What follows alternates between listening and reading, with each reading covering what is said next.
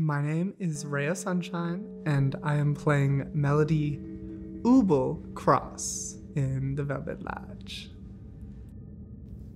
The game system of The Midnight World was very interesting to me when I played it originally, and getting to do this only deepened the amount of affection I have for this game. I find this game more compelling than some because it doesn't shy away from powers and having incredibly strong abilities from the jump. It doesn't shy away from giving any of the players too much or worrying about how am I going to get around this? Because most of the powers, while they are overpowered, it's incredibly cinematic and very dramatic.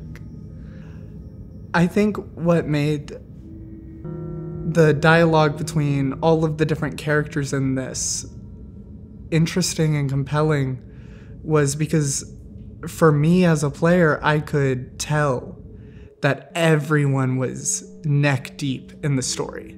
It was like we were getting lost in this entirely different world, and it was just so much fun to cry.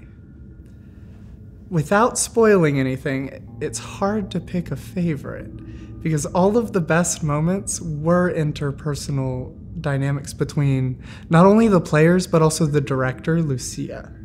For me, the PTSD aspect of this game was interesting to try and rationalize with my character and how she works through her life.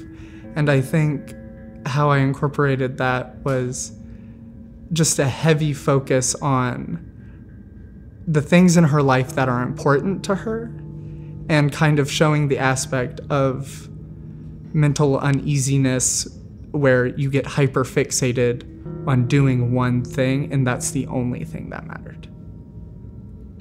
So, Mrs. Melody Ubel Cross, she is your typical mom, you know, run of the mill, just loves taking care of her kids.